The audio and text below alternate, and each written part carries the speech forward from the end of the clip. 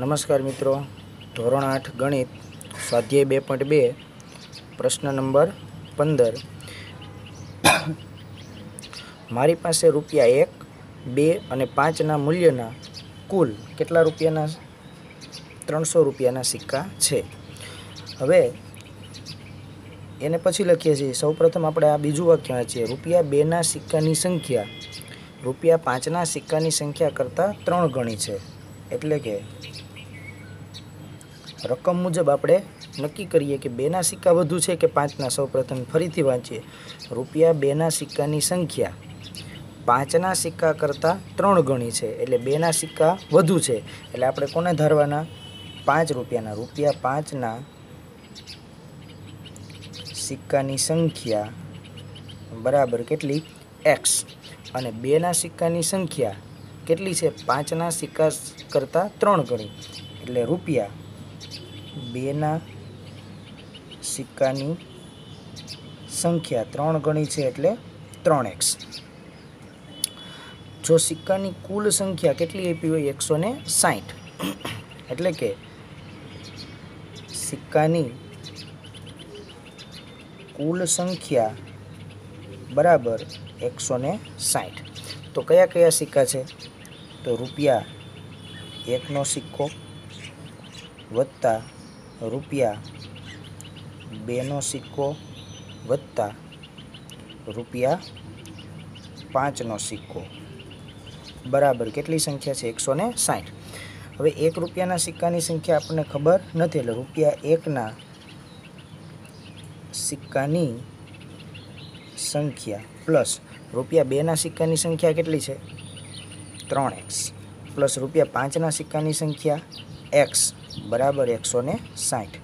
તેથી રૂપિયા એકના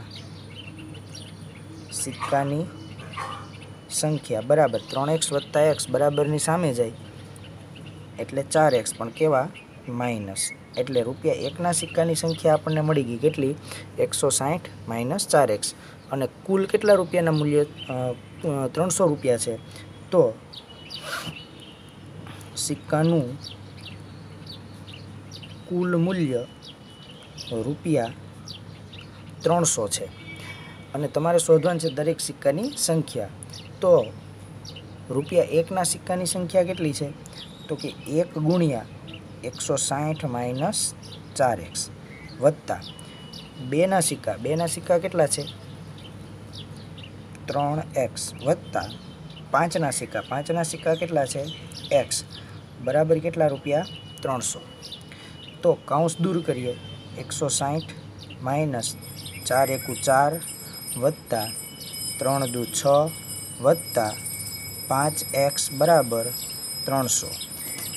એકસો સાઠ બરાબરની સામે જાય એટલે માઇનસ આ છ ને પાંચ અગિયાર એક્સ માઇનસ ચાર એક્સ.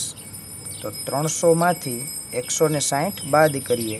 એટલે આ બાદ બાકી કેટલી આવે? સાત એક્સ બરાબર એકસો ચાલીસ.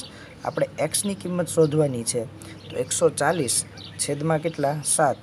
સાત દુ ચૌદ. તો એક્સ બરાબર આપણને કેટલા મળ્યા? વીસ. મિત્રો, આપણે સિક્કાની સંખ્યા શોધવાની છે, તો રૂપિયા એકના સિક્કાની સંખ્યા કેટલી હતી આપણી પાસે? રૂપિયા એકના સિક્કાની સંખ્યા બરાબર એકસો ને સાઠ માઇનસ ચાર એક્સ. તો આ એકસો ને સાઠ માઇનસ ચાર ગુણ્યા વીસ એટલે એકસો સાઠ માઇનસ વીસ ચોક એંસી બરાબર એંસી. એ જ રીતે રૂપિયા બેના સિક્કાની સંખ્યા આપણી પાસે કેટલી હતી? ત્રણ એક્સ. તો ત્રણ ગુણ્યા એક્સની કિંમત વીસ આવી એટલે કેટલા? સાઠ. અને રૂપિયા પાંચના સિક્કાની સંખ્યા આપણે કેટલી ધારી હતી? એક્સ. એટલે કેટલા મળે? This. thank you